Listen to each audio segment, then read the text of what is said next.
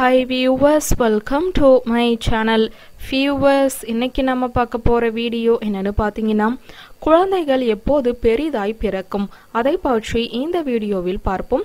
கர்ப்ப காலத்தில் பலவித குழப்பங்கள் இருக்க ஒரு சில விஷயத்தை நீங்கள் கண்டிப்பாக தெரிந்து கொள்ள வேண்டியது அவசியமாகிறது.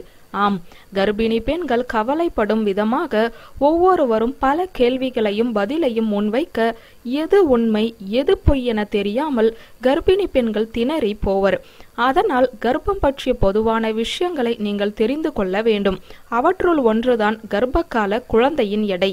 அதாவது கர்ப்பிணி பெண்கள் நல்ல ஆரோக்கியமான உணவை சாப்பிட்டு குழந்தையின் வளர்ச்சிக்கு உதவ வேண்டும். ஒருவேளை குழந்தையின் வளர்ச்சி நினைத்ததை விட பல மடங்கு பெருகி காணப்பட்டால் என்ன செய்வது? வாருங்கள் தொடர்ந்து வீடியோவை பார்ப்போம். குழந்தையின் எடை எவ்வளவு இருக்க வேண்டும்? ஆராய்ச்சியாளர்களின் கருத்துப்படி குழந்தையின் எடையானது பொதுவாக இரண்டாயிரத்தி ஐநூறு கிராம் முதல் ஐயாயிரம் ஐயாயிரம் கிராம் வரை இருக்கக்கூடும். எந்த குழந்தையின் எடையானது ஐயாயிரம் கிராமை கடந்து காணப்படுமெனில் குழந்தை பெரிதாய் பிறக்க வாய்ப்பிருக்கிறது. இருப்பினும் குழந்தை குண்டாக பிறப்பதால் ஆரோக்கியமற்று இருக்கக்கூடும் என அர்த்தமில்லை. இதனால் பிரசவத்தின் போதும் நீங்கள் ஒன்றும் பெரிய சிக்கல்களையும் சந்திப்பதும் இல்லை.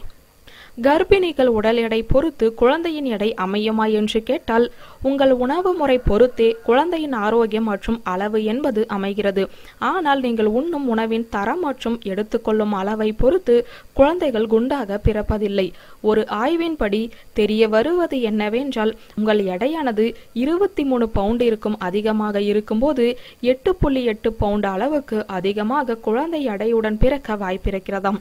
அதே போல அம்மாக்களின் எடை நாற்பத்தி நான்கு முதல் நாற்பத்தி ஒன்பது பவுண்ட் இருக்கும்போது குழந்தைகளின் எடை இருமடங்கு அதிகரிக்க வாய்ப்பிருக்கிறது இதற்கு என்ன செய்ய வேண்டும்? நீங்கள் எடுத்துக்கொள்ளும் உணவின் அளவில் கவனம் தேவை. எண்ணெய் அதிகம் அடங்கிய உணவையும் ஜங்க் உணவையும் தவிர்க்க வேண்டும். உங்கள் வயிறு சிறியதாக இருப்பின் சத்துள்ள உணவை மருத்துவரின் பரிந்துரையுடன் அதிகம் எடுத்துக்கொள்ளுங்கள். எதனால் குழந்தை குண்டாக பிறக்கிறது என்று கேட்டால் இரத்த சர்க்கரை அளவு பொறுத்து குழந்தையின் எடை என்பது அதிகரித்து காணப்படும். அம்மாக்களின் வயது பொறுத்து குழந்தையின் எடை அதிகம் காணப்படும். உங்களுக்கு இருதய நோய் நீரிழிவு நோய் மற்றும் இரத்த சோகை இருக்கும்போது குழந்தை குண்டாக பிறக்க வாய்ப்பிருக்கிறது. ஒரு ஆண் மற்றும் பெண்ணின் மரபு மாற்றங்களை பொறுத்தும் குழந்தை குண்டாக பிறக்கும். ஃபியூவர்ஸ் இந்த வீடியோ உங்களுக்கு பிடித்திருந்த லைக் பண்ணுங்க கமெண்ட் பண்ணுங்க ஷேர் பண்ணுங்க. நன்றி.